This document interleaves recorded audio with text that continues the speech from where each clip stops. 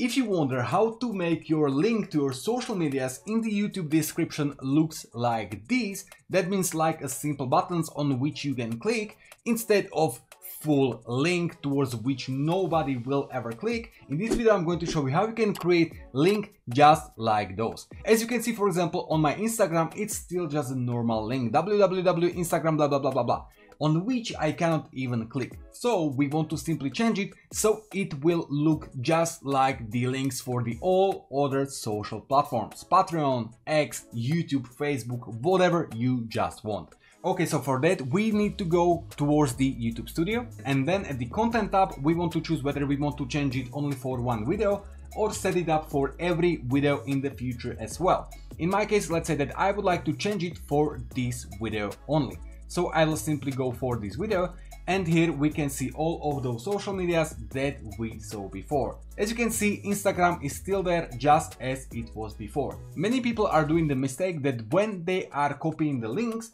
they are copying only the main part, like the www blah blah blah blah blah. But for the youtube videos you want to copy the https part as well. So in case i would like to change my instagram link to be just as those others i will go for my instagram and simply copy full url link ctrl c go back to the description select ctrl paste ctrl plus v and now i will save the changes and now when I will go down for the description, now I can see that even Instagram is now already as a clickable YouTube button. So this is how you can easily make those kind of buttons in your YouTube description. And be aware that you can do the same thing with the video as well. So in case I would like to like push my viewers for some specific video, I can do it just like that. And all you have to do for this is simply copy the video link. Let's say that I will simply hit this to copy video link and then you will simply paste it into the description of your video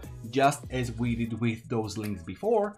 And when you will go back to normal video it's already there and it looks like this like button. So as soon as you will click on this it will send you directly for this video. Okay so this is how you can do this for one video. In case you would like to do this for multiple videos at once i can copy this one and I will go back and we will need to change the upload default. So I will go for the settings upload default and all I have to do is simply put there everything I just copied. And now every time I will upload new video, all of those settings, all of those links will be already there and will look like those small YouTube buttons. Okay, so that's all for this short tutorial video. Really hope you found that what you were looking for. Hope you are good and video fine. Thanks for watching and all of the support. See you all next time.